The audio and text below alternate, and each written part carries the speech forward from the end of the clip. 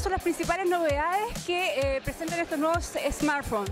Bueno, tenemos de todo. Tenemos, por ejemplo, nuestro equipo top de línea, es un equipo octa-core, 8 núcleos. La gente estaba entendiendo cada vez más que, en el fondo, los procesadores son parte importante de los smartphones, el rendimiento. Así que lanzamos hoy día un teléfono que tiene 8 núcleos, pantalla HD, cámara frontal de 5 megapíxeles, una trasera de 13, eh, un teléfono muy completo, muy delgado, que en el fondo viene a cumplir con un grupo de clientes que hoy día está más metido en la tecnología y que era algo más exigente.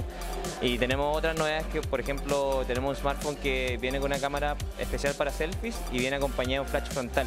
Entonces, para poder tomarse fotos en situaciones de baja luz o poder en el fondo tomarse fotos en, el día a día sin esta limitación de, de que está muy oscuro.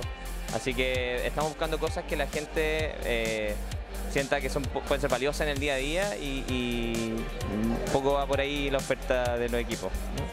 Tengo entendido que hay dos equipos, que son el Style y el Smart. ¿Cuáles son las principales diferencias técnicas de los dos?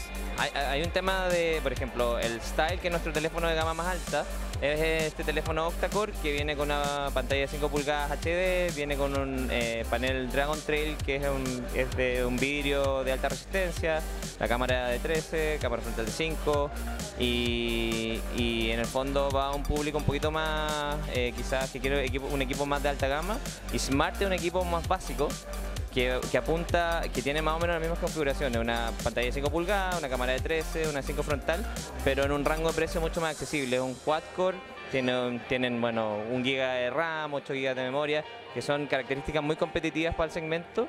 Y, un poco a lo que vamos es que por un lado está Style, que está a 129 mil pesos en precio prepago, un precio de referencia, y el otro está a 79.990. Entonces son precios muy, muy convenientes versus las características y la, bueno, la calidad del producto.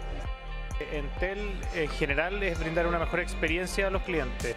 Si nos vamos al tema muy tecnológico de las redes, estamos tratando de tener las redes de última generación para dar ese acceso a la mayor cantidad de gente posible en las distintas frecuencias, bandas y entonces, ¿por qué, ¿por qué tiene que ver una marca de teléfonos con eso? Porque básicamente lo que le estamos pidiendo aún que nos ayude es a incorporar esas tecnologías en segmentos más masivos de público.